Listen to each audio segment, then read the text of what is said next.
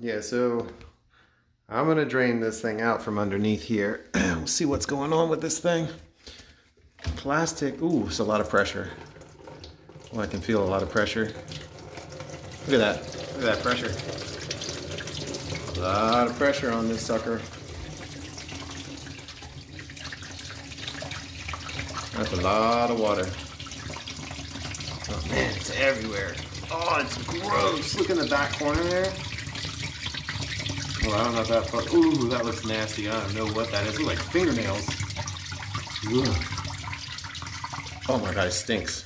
It smells so bad. I'll be back.